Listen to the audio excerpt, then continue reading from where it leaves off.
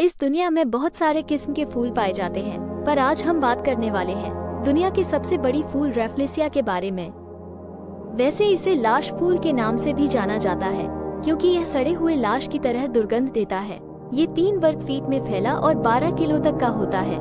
ये फूल Indonesia, Thailand, Malaysia आदि देशों में ही मिलता है।